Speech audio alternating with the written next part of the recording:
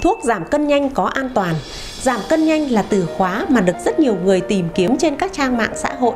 Tuy nhiên, theo cảnh báo của các chuyên gia y tế và chăm sóc sức khỏe thì nếu bạn đang giảm cân nhanh bằng phương pháp uống thuốc giảm cân thì có thể bạn đang gây nguy hiểm cho sức khỏe của mình bởi những lý do như sau. Thứ nhất là các loại thuốc uống giảm cân nhanh sẽ khiến bạn bị mất nước.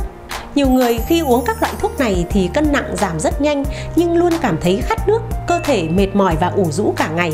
Đó là vì cơ thể bạn đang bị mất nước chứ không phải là giảm mỡ. Khi dừng uống thuốc, bạn sẽ thấy rất háo nước và uống nhiều nước hơn bình thường và khi đó thì cân lại tăng trở lại.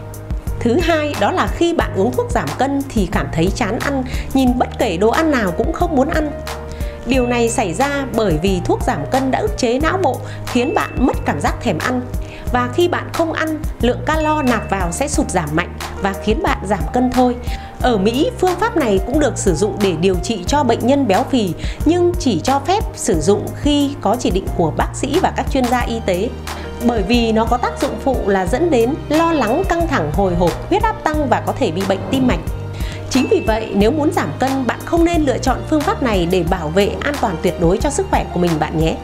Để giảm cân an toàn và khỏe mạnh, các bạn nên lựa chọn một chế độ ăn khoa học và cân bằng dinh dưỡng, đảm bảo cho bạn giảm được cân nặng như ý muốn nhưng cơ thể vẫn hoàn toàn khỏe mạnh.